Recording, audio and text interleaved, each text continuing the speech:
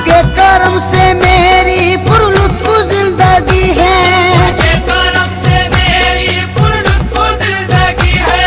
उनके कर्म से मेरी पुरलुत्फ ज़िंदगी है। गुजरा हूँ मैं जिधर से इज़्ज़त मुझे मिली है मेरे पीर की गुलामी मेरे काम आ गई